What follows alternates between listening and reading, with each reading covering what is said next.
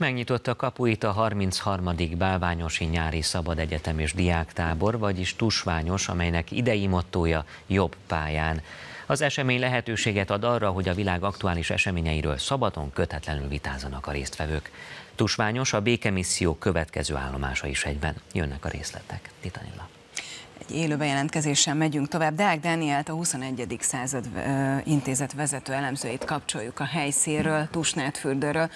Jó reggelt, üdvözlöm. Tegnap megnyitotta kapuit ugye a 33. Szabad Egyetem. Milyen volt az első nap? Üdvözlök mindenkit Tusfányosról. Nos, ahogy látható mögöttem azért az időjárás egy kicsit mostoha, tehát esős időre esős idővel indult a Tusfányosi Szabad Egyetem.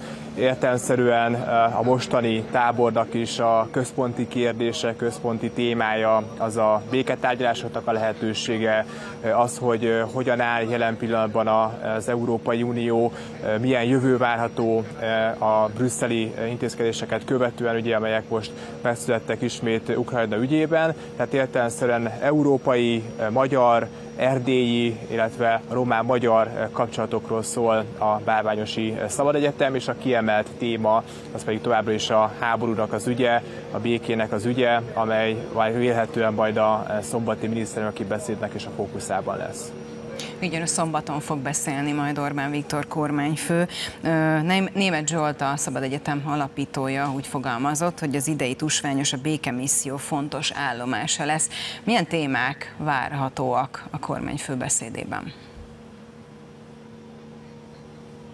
Igen, a mostani Tusnádfürdő egy fordulópont alkalmával történik megrendezésre, tehát egy fordulópont egy történelmi változásnak az időszakában állunk, hiszen az európai parlamenti választás után vagyunk, de még az amerikai választás előtt, tehát gyakorlatilag most egy ilyen átalakuló időszak van a nyugati világban. Az elmúlt több mint két évben azt láttuk, hogy a magyar álláspontot a háború ügyében próbálták elnyomni. Ugye láttuk a békemisszió kapcsán is, hogy Brüsszel meglehetősen agresszíven és durván reagált arra, hogy a magyar kormányfő először Kievbe, majd Moszkvába, utána Pekingbe és Washingtonba utazott a békemisszió keretében. Ugyanakkor látjuk, hogy most már egyre több politikus, vagy akár vezető is osztja a magyar kormányfőnek az álláspontját. Brüsszelben is érezhető egy jobbra tolódás az Európai Parlamentben, ugyanakkor a mainstream pártok továbbra is együttműködnek, összefognak az Európai Néppárt a baloldali pártokkal, még tartja magát, és egy ilyen ellensúly próbál képezni a szuverenista politikai erőkkel szemben. Ugyanakkor az Egyesült Államokban november 5-én lesz a választás, ahol elképzelhető és az várható, hogy Donald Trump megnyeri ezt a választást. Hogyha ez bekövetkezik, akkor a nyugati világban is nagyon komoly változás, fordulópont lesz a külpolitikát, illetve a háború kérdését illetően, és hát vélhetően a magyar kormányfőnek is a beszédében ez lesz a fókusz. Az idei mottója a tusványosnak jobb pályán, ez mire utal ez a szlogen? Mit mondanak erről a szervezők? Itt több mindent bele is lehet érteni, tehát azért az elmúlt most már nem is kettő, hanem inkább négy év az meglehetősen nehéz volt. Tehát a 2020-as év az a koronavírus járvány kitörésével kezdődött, le kellett zárni mindent, egész Európa gyakorlatilag megbénult, lát a gazdaság. Ugye 2021 második felében, amikor azt hitte mindenki, hogy vége a járványnak, felszabadultak az európai emberek is, elkezdtek végre kimozdulni otthonról, beindult a gazdaság is, és erre 2022-re jött ugye az orosz-ukrán háborús konfliktus, ami ismét egy válsággal, krízissel teli időszakot hozott nem csak Magyarországnak, hanem egész Európának és világszerte. Látjuk azt, hogy milyen nehézségeket és tragikus eseményeket okoz ez a háborús konfliktus.